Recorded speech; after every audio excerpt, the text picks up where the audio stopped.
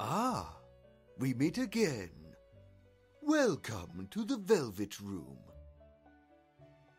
Do not be alarmed. You are perfectly safe in your world, fast asleep. It truly has been a while, so I do believe reintroductions are in order. You may call me Igor, and this is my assistant. I give you my humblest greetings. My name is Margaret. Now that reintroductions have been made, let us discuss why you have been summoned here.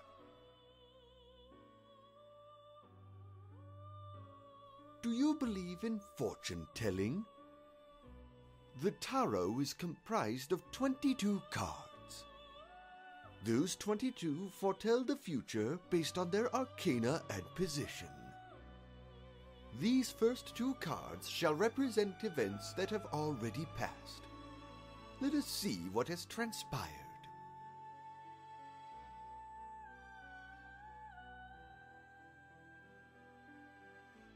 Ah, the Star Arcana followed by Death, both in their proper positions. Margaret, will you kindly explain? Certainly. The star arcana represents positive energy that comes in many forms hope, realization, optimism, inspiration. The second one is the death arcana, many associate it with something to be feared. But death also means change, transformation through release. It is simultaneously an end and a new beginning. This means that, in the past, a dream of light awakened, but would need to let go of something past its time to be fully realized. Thank you, Margaret.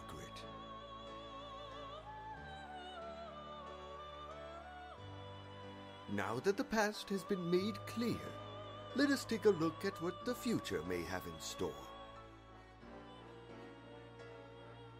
The last two cards represented events that have already passed.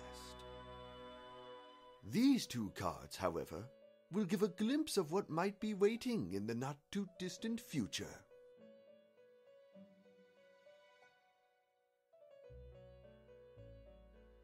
The priestess and the reversed devil. Most intriguing indeed. The priestess represents revelation, a great realization that can bring great change to one's life, often guided by intuition. The devil typically means imprisoned potential, a sign to remove whatever is holding one back.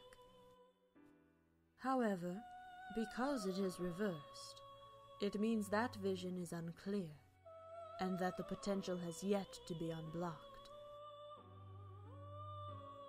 Thank you again, Margaret.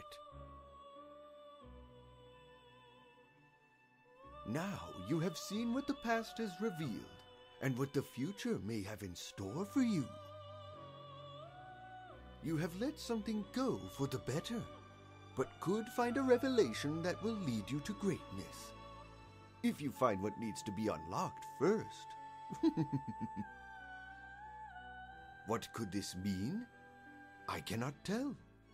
It is ultimately up to you to find out. Or maybe it has nothing to do with you, but someone close to you. Who could be related to these cards, I wonder? I'm afraid our time is drawing to a close. I hope you will be able to solve the puzzles set before you.